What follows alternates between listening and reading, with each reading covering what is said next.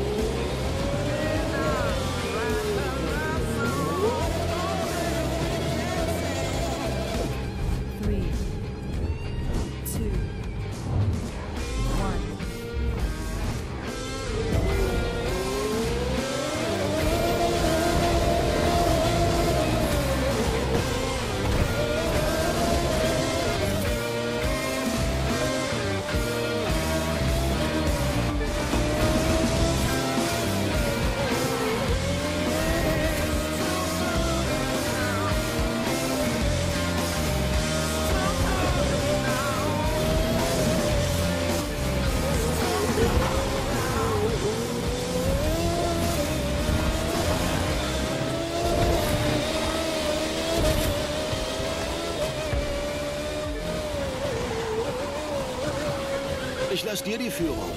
Vorübergehend.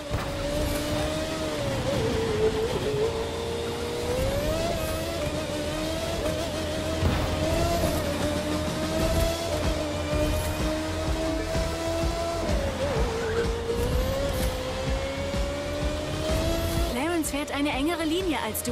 Das muss sich ändern.